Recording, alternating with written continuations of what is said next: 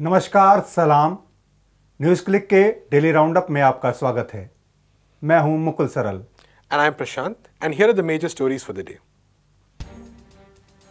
पश्चिम बंगाल में बीजेपी की हिंसा के खिलाफ वाम मोर्चा की कोलकाता में बड़ी रैली। लोकसभा चुनाव के अंतिम चरण का जायजा पंजाब के पटियाला से खास रिपोर्ट। क्या है लुधियाना का हाल? देखेंगे ग्राउंड रिपोर्ट। जानेंगे मोदी सरकार से कितने खुश और नाखुश हैं व्यापारी। ऑल इंडिया फुटबॉल फेडरेशन ने ईगो इस्टमैक को भारतीय फुटबॉल टीम का कोच नियुक्त किया। और नकबा की इकहत्तरवीं वर्षगांठ, दुनिया ने फिलिस्तीन के साथ एकजुटता ज़ाहिर की। सबसे पहले बात पश्चिम बंगाल की, जहाँ बुधवार को वाम मोर्चा ने कोलकाता में बड़ी रैली निकाली। वाम कार्यकर्ता, भाजपा कार्यकर्ताओं द्वारा समाज सुधारक ईश्वरचंद विद्यासागर की मूर्ति तोड़े जाने से नाराज़ थे।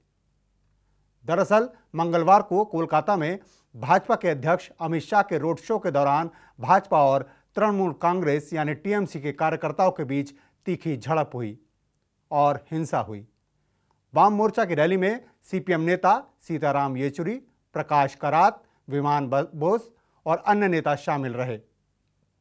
वाम नेताओं ने लोगों से आग्रह किया कि वे तृणमूल कांग्रेस और भारतीय जनता पार्टी द्वारा बनाए गए सांप्रदायिक ध्रुवीकरण के जाल में ना फंसे। रैली के बाद सीपीएम महासचिव सीताराम येश्वरी ने प्रेस से बात की।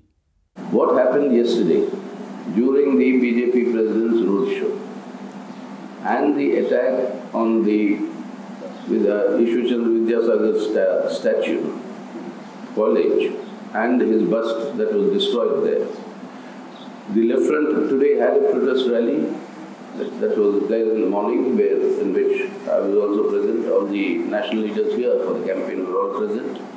I mean, apart from out, uh, outrightly condemning this as the most despicable act, I mean, the fact that Ishwar, I mean, Vidyasagar, Ishwar Vidyasagar was an icon of the Bengal Renaissance, and Bengal Renaissance was the leader of modernizing and giving a power to the national movement in a struggle for freedom. And that is what resulted in India's freedom. Given that entire role, during the left front period, for more than two decades, every year there used to be a Vidyasagar Mela, where for a week all these issues of the entire issues of the Bengal Renaissance, the Enlightenment, and against the obscurantism, etc., that the RSS BJP represent. All these campaigns used to be done, but since the Trinamool Congress government came, I mean, this sort of activity is completely stopped. And that has given the opportunity for the obscurantist forces once again to mount the attack against anything that is progressive. So there's one more instance of how the Trinamool Congress paved the way for the entry of the RSS BJP into the Bengal. Kolkata में हिंसा तब भड़की जब तृणमूल कांग्रेस समर्थकों ने अमित शाह के खिलाफ काले झंडे दिखाए। जल्द ही टीएमसी और बीजेपी समर्थक आमने सामने आ गए। और इस और इस झगड़े में बीजेपी समर्थकों ने विद्यासागर विद्यासागर कॉलेज के अंदर कथित तौर पर बाइकें जला दी और ईश्वरचंद विद्यासागर की मूर्ति को तोड़ दिया। यहाँ कुछ फुटेज भाजपा और आरएसएस समर्थकों द्वारा पैदा की गई अराजकता को दर्शाते हैं। घटना के संबंध में अमित शाह और कई भाजपा नेताओं के खिलाफ रिपोर्ट दर्ज की गई है। अब चलते हैं अगली स्टोरी की तरफ़। लोकसभा चुनाव अपने अंतिम चरण में है। इस दौर में पंजाब की तेरह सीटों के लिए भी वोट डाले जाएँगे। हमारी न्यूज़ क्लिक की टीम इस दौरान ज़मीन पर जाकर लोगों से बात कर रही है, उनकी समस्याएँ सुन रही है और इस चुनाव को समझने की कोशिश कर रही है। इस कड़ी में हमारे रिपोर्टर रवि ने पटियाला में कुछ मजदूरों से बातचीत की। देखिए उस बातचीत के कुछ अंश। मेरा बड़ी बहन मर गई मेरा बड़ा भाई मर गया मेरे पिताजी पूरे हो गए। तो एक मैं हूँ और एक मेरी माँ है जी। घर का मकान है। तो जो मैं कमा कर लेकर जाता हूँ यहाँ से तो अपने माँ बेटे। तो महीने में ये बताइए कितने दिन आपको काम मिलता नहीं जी। नहीं मिलता जी काम। नहीं मिलता। नहीं मिलता जी काम।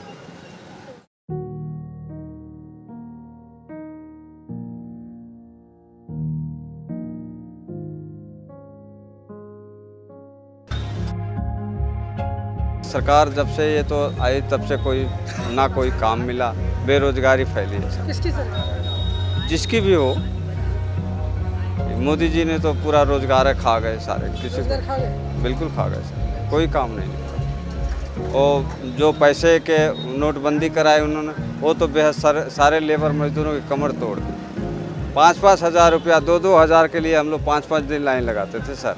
इसके बाद पता चलेगा कि आज तो पैसे हैं ही नहीं। कल मिलेंगे। हफ़्ते में दो हज़ार रुपये मिलते थे। और मालक जो था, वो कहता भी, अब नोटबंदी यार, पैसे ले जाओ। यही तो पैसे हैं, पुराने पैसे हैं, कहाँ से देंगे? बड़ी समस्याएँ हुई sir.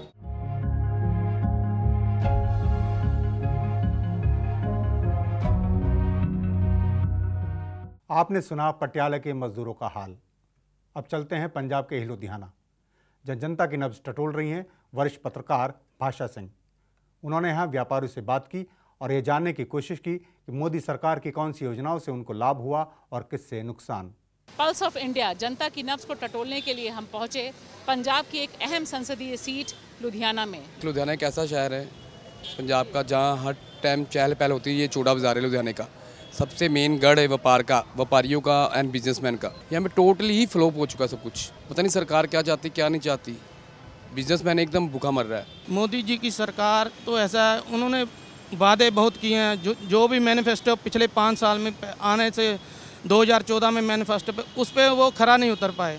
They have uh, come in 2014 तब इन्होंने बोला था कि we will do these things के हम सभी को रोज़गार प्रोवाइड करवाएँगे और एवरीथिंग वी विल प्रोवाइड अब वो मुद्दे ही चेंज हो गए हैं। आफ्टर जीएसटी आफ्टर नोटबंदी हमारे जो मीडियम वर्ग का व्यापार है वो टोटली फिनिश हो गया। नोटबंदी का और जीएसटी का ऐसा थोप दिया मध्यम वर्गीय और निचले वर्गीय सारा व्यापार अस्त व्यस्त हो गया है सरकार का। पूरे देश की अर्थव्यवस्था ही खराब कर दी उन्होंने बीजेपी सिर्फ़ राजनीति कर रही है धर्म की राजनीति कर रही है। वो लोगों को बांट रही है। जब से ये मोदी सरकार है अगर उनसे कोई बीजेपी वाले से कोई हम विकास की बात करते हैं तो वो धर्म की बात करते हैं। बालाकाट बालाकोट की बात करते हैं। ये बाज़ार हिंदू मुसलमान सिख तीनों पे टिका हुआ है। ईद आती है हमारे पास रश होता है। मुसलमान ही आते हमारे पास लेने। कि हम ये इन, इन इनके साथ बैठ डालेंगे हमारी दुकानदारी थोड़ी चलेगी। हमारे यहाँ में कोई मुद्दबहब नहीं है। सभी भाई भाई हैं यहाँ पे। ये मोदी जी आपकी सोच होगी मुसलमान ऐसा ऐसा है ऐसा है। हमारे में कोई ऐसा नहीं है। हिंदू ऐसा है या सिख ऐसा है हमारे में कोई नहीं है। हम सभी एक जैसे हैं। साठ सत्तर साल हो गए हमें आज़ाद हुए हुए। ठीक है? और ऑलरेडी मुस्लिम्स और हिंदू पंजाब में क्रिश्चियन भी हैं सरदार भी हैं सारे मिल के रह रहे हैं। प्रॉब्लम कहाँ पे आ रही है? प्रॉब्लम ये आ रही है कि मार्केट में अनएम्प्लॉयमेंट बढ़ रही है। लोगों में बहुत ज़्यादा रोश है अंदर से। गुस्सा है। काम धंधे नहीं चल रहे हैं। हम नहीं चाहते कि मोदी सरकार दोबारा बने।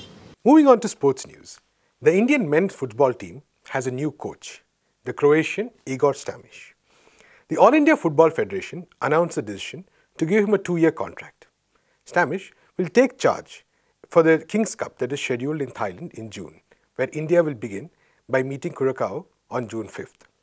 Igor Samish was a noted defender with the Croatian team in the 90s and also coached the national squad to successfully qualify for the 2014 FIFA World Cup. We now move to the international segment, where today, May 15th, is the 71st anniversary of the Nakba, also known as the catastrophe in Palestine. The Nakba marks the expulsion of nearly 800,000 Palestinians from their home during the formation of Israel in 1948. Today, we'll see protest rallies and demonstrations held across the world in solidarity with Palestinians. A number of organizations have also issued statements and calls for action on this day. The Democratic Front for the Liberation of Palestine has called for the total rejection of the Oslo Accords and its conditions and terms and limitations. The Voices of Palestinian Students, a youth organization, has also condemned Arab countries which are normalizing ties with Israel, as well as condemning Donald Trump's decision to recognize the annexation of the Golan Heights, Israel's annexation of the Golan Heights. Last year, on, May, on March 30th, the people of Gaza began the Great March of Return. The key demand of this Great March of Return was the right to return of the people who were expelled from Palestine in 1948 and their descendants. This march was met with heavy repression by Israel. On May 15, 2018, which also marked the day the US embassy in Israel was shifted to Jerusalem, Israeli soldiers killed nearly 60 Palestinian protesters and injured nearly 1,200 people. This year's Nakba is also especially important as Donald Trump's deal of the century is likely to be announced anytime soon. This deal is really a serious blow to the aspirations and statehood of Palestinians. That's all we have in the international news. हमारी खबरों को विस्तार से जानने के लिए click कीजिए www.newsclick.in हमारे फेसबुक पेज को भी लाइक कीजिए और यूट्यूब चैनल को भी सब्सक्राइब कीजिए। धन्यवाद। Thanks for watching.